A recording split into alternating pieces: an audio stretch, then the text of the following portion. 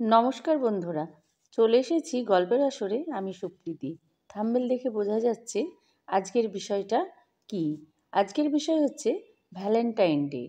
আমরা Valentine Day কী এবং কেন পালন করব সেটা আজকের এই ভিডিওতে জানতে পারব।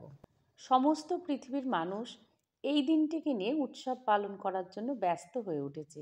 আর বাঙালির তো কথাই নেই, এনারা আবার হই হুল্লোড়ে চরম আগ্রহ।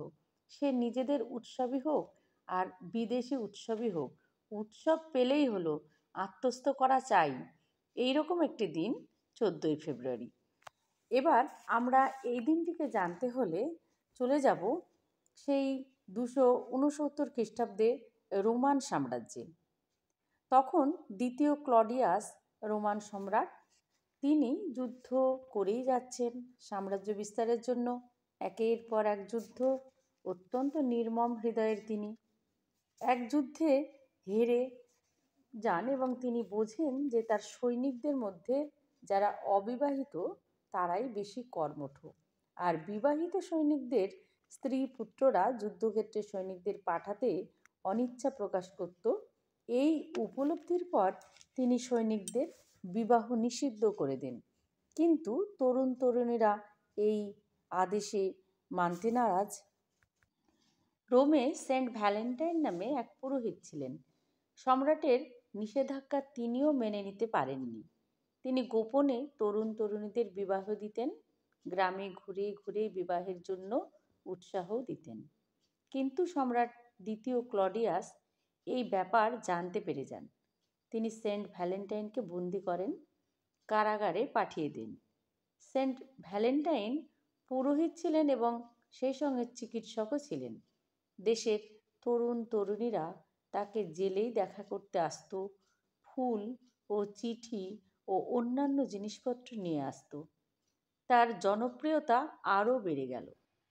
এই জেলের যিনি জেলার ছিলেন, তিনিও ভ্যালেন্টাইনের প্রতি মুগ্ধ ছিলেন।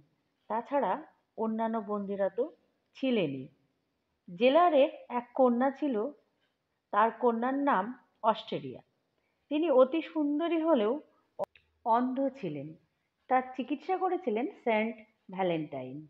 চিকিৎসার সাথে সাথে জেলারের মেয়ে ভ্যালেন্টাইনের চোখ দিয়ে পৃথিবীর রং, রূপ উপলব্ধি করত। চিকিৎসাতে সাড়া দিয়ে মেয়ের অন্ধত্ব দূর হয় এবং ওই মেয়ে মনে মনে ভ্যালেন্টাইনকে ভালোবেসে ফেলেন এবং বিয়ের প্রস্তাবও দেন। এদিকে সম্রাট ক্লডিয়াস ভ্যালেন্টাইনের জেলে থেকেও জনপ্রিয়তা বৃদ্ধির খবর পান এবং তাতে ক্রুদ্ধ হয়ে তাকে মৃত্যুদণ্ড দেন। মৃত্যুদণ্ডের দিনটা ছিল চোদ্দোই ফেব্রুয়ারি দুশো সত্তর খ্রিস্টাব্দ। মৃত্যুর আগে জেলারের মেয়েকে একটা চিঠি লিখেছিলেন যাতে লেখা ছিল লাভ ফর ইউর ভ্যালেন্টাইন তেরোশো বিরাশিতে চসারের সাহিত্যে ভ্যালেন্টাইনের উল্লেখ পাওয়া যায়।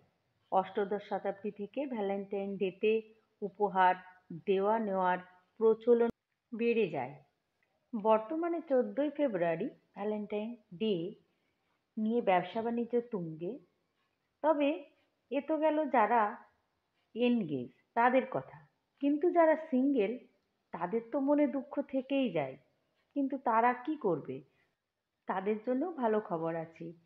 এই দিনটি সারা পৃথিবী জুড়ে সিঙ্গেল অ্যাওয়ারনেস ডে হিসাবে পালন করা হয়। সিঙ্গেলরা সেটা কিন্তু গোপনেই পালন করে।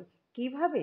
তারা কোনো পার্কে বা কোনো হোটেল বা কোনো রেস্তোরাঁয় বা কোনো নির্জন জায়গায় নিজেরাই গিয়ে ভালো খাবার খেয়ে বা গান শুনে বা প্রকৃতির মধ্যে নিজেকে মেলে ধরে খানিকটা সময় কাটিয়ে নেয়।